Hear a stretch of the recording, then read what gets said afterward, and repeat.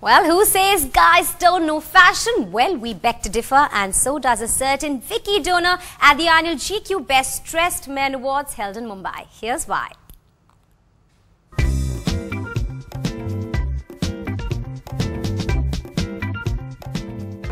Ayushmann Khurrana this evening, it seems, is channeling old school Hollywood glamour. In fact, you're looking like a young Elvis this evening. With the Oh, hair with the- and the bow tie and stuff like that.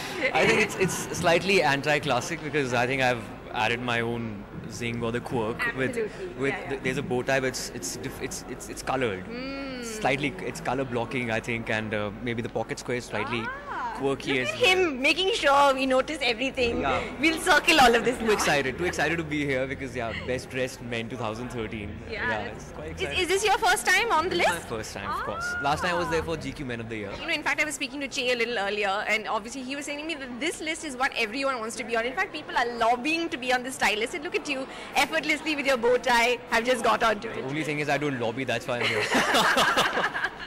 I'll just say Thanks for clearing that up. hello sir, hi.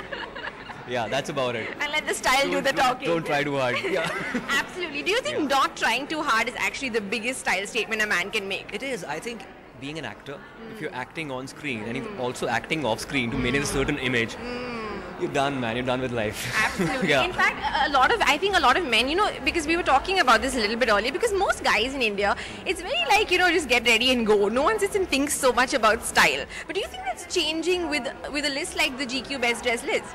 Of course, I think it's it's changing for sure, and Yeah. you evolve with time as well. Know, I'm from Chandigarh. It's certainly not known for style. I like the way that Yeah.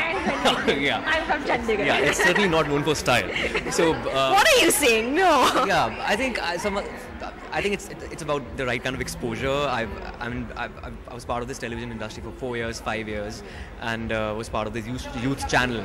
So I think I its style evolves over the years. Yeah. So what was your worst style phase, do you think? Was there like a lot of fashion faux pas happening? Crazy Loud clothes? I was in all boys school and all boys college, so never thought about fashion in my sure growing up years. But yeah, suddenly I was uh, part of this journalism school with 40 girls and five guys. So I thought, you know, I, this is the time I need to uh, take care of my So you became a metrosexual male then? Try to be a metrosexual, but yeah, with a lot of uh, permutation and combinations, I think I got the look right. Very much so this evening. And also, Ayushmann, so many gorgeous men on this list. Is there anyone in particular who inspires bromantic feelings in you? Romantic feelings. Because of their good looks and style. Uh, I think uh, Akshaye Khanna. I think Okay it's quite then. stylish. Right. And uh, apart from that, I'm working with Sonam Kapoor. Anil Kapoor is the man.